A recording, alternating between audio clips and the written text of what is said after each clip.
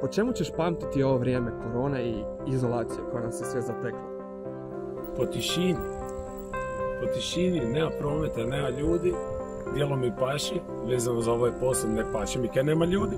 Na najvećem ikada fokusu na sebe koji sam onda doživjela i koji možda, usudim se reći, mi promijeni život. Jako inspirativno. Bilo smo malo zatvoreni pa smo gruntali i slagali nekakve nove priče. Evo, to je nekakve nove ideje. Mogao sam se malo posvetiti sebi, svom miru u glavi i to je izazvalo ekspresiju nekakvih ideja. pričamo sebi i svojoj djevojci, recimo dobro smo se zabavili, prvo smo mislili da možda se ne budemo mogli trpiti, međutim ispalo je sasvim drugačije.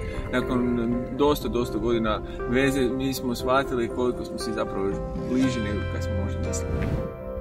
Ova karantena je za mene bila super zato što sam vrijeme provela sa svom obitelji u Zadru i to je zapravo najduži period u zadnjih šest godina od kad sam se preselila u Zagreb. Ovu karantenu ću definitivno pamtiti po potresu i po tome što jako dugo nisam vidio ovakvu divu, a nije frizera očito.